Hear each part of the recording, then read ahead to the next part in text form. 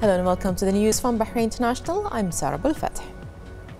The representative of His Majesty the King for Humanitarian Work and Youth Affairs, His Sheikh Nasser bin Hamad Al Khalifa, expressed pleasure in the victory of Paris FC team under the theme Victorious Bahrain against Amiens 2-4 in the Coupe de France League 2. He noted that the team is on the right path towards achieving further positive results that reflect the team's development. Highness Sheikh Nasser stated that Bahrain's name in the Coupe de France promotes it in Europe in light of the keenness to participate participate in grand international sports events, which reflects positively on the touristic and economic aspects of the country. His Highness affirmed that the team is giving a remarkable performance, which contributes to achieving positive results. He wished the team further success in the upcoming matches.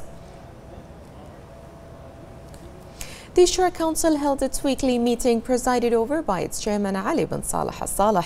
The council approved the recommendations of the Foreign Affairs, Defense and National Security Committee on a draft law ratifying the main system of the Labour Centre for the Organisation of Islamic Cooperation.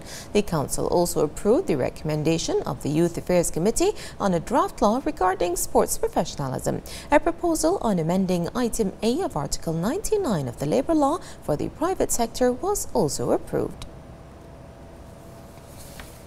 The Southern Governor Azhana Sheikh Khalifa bin Ali Al Khalifa uh, chaired the first meeting of the Security Committee for this year, held remotely in the presence of a number of officers representing various security directorates at the Ministry of Interior. During the meeting, His followed up on the efforts of the Security Committee to continue implementing the necessary precautionary measures to limit the spread of the coronavirus and reviewed the government's efforts to reducing the number of workers in their areas of residence residents and monitor and correct the conditions of the 40 residential areas. The Zionists called to intensify security awareness and stress the importance of wearing masks, limiting gatherings and applying social distancing in cooperation with various parties to ensure that all preventive requirements are applied to ensure the safety of all.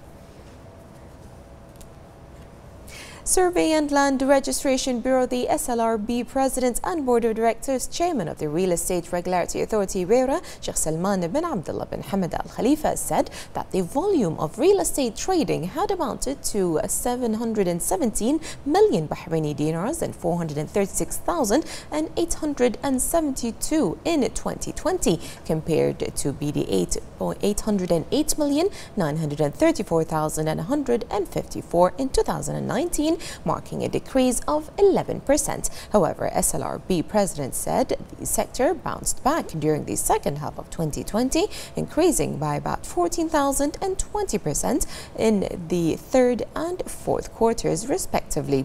Sheikh Salman bin Abdullah indicated that the results could be considered positive given the exceptional circumstances created by the spread of the novel coronavirus pandemic and its economic impact. He added that the positive results attained in the second half were the fruitful outcome of the measures taken by the government to support the economic activities in general and the real estate sector in particular, noting that the government has been keen to strike a balance between enforcing precautionary measures to prevent the spread of the pandemic and providing the appropriate environment to ensure the continuity of vital economic sectors which contributed to their relative stability.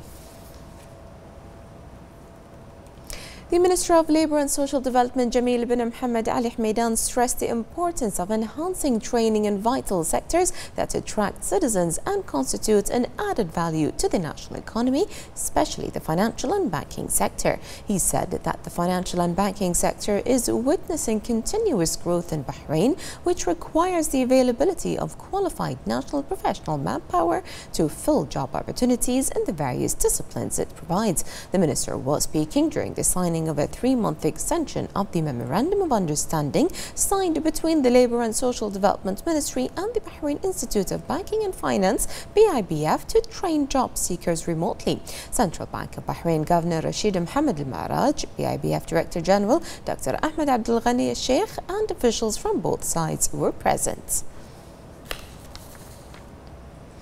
As part of preparations to transfer operations to Bahrain International Airport's new passenger terminal on January the 28th, the Minister of Transportation and Telecommunications and the Chairman of Bahrain Airport Company BAC, Kamal bin Ahmed Mohammed, visited the site to assess the readiness of staff and key facilities. The Minister commended the staff on their high level of preparedness and expressed his confidence in the Bahraini teams responsible for the management and operation of the facilities which operate around the clock. He noted the high standards of construction of the Engineering Control Center, the Airport Operations Center, the Network Operations Center, and the Baggage Operations Center and the Fire Command Center.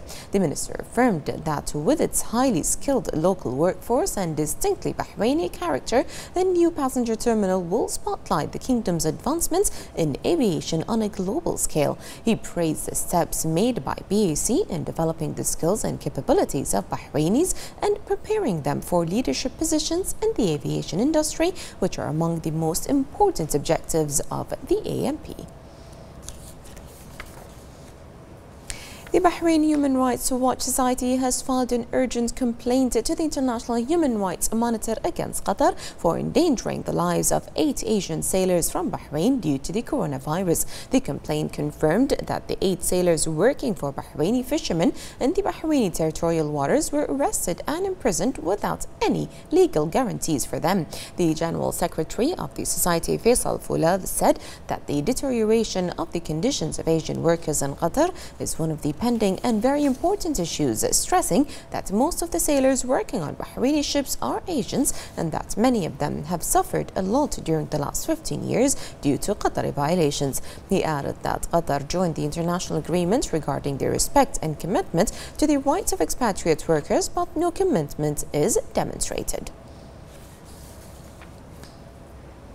The Kingdom of Bahrain participates in the United Nations celebrations of the International Day of Education with its honorable achievements in providing education for all. In light of the exceptional circumstances imposed by the coronavirus pandemic, Bahrain affirmed its ability to sustain educational services for all and its pioneership in digital education.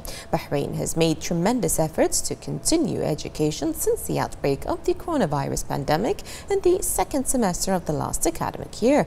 In line with the conditions imposed by the pandemic, educational services provided to students in Bahrain have expanded at all levels, where the Ministry of Education succeeded in providing governmental educational service to approximately 150,000 students. The Ministry of Education cooperated with the Ministry of Information to film televised classes. These honorable results are reflected in Bahrain winning the His Highness Sheikh Salim Al Ali Al Sabah Informatics Award for the Education educational portal project.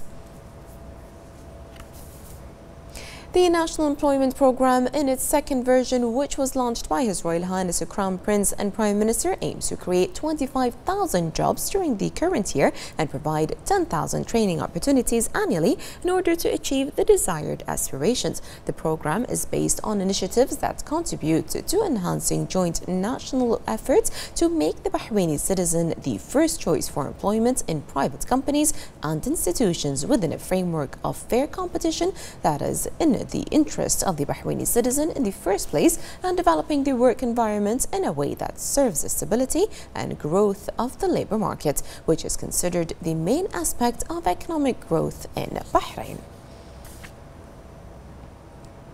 The Ministry of Health said today that the number of coronavirus cases reached 2,977 with 210 recoveries, 246 registered new cases and one death.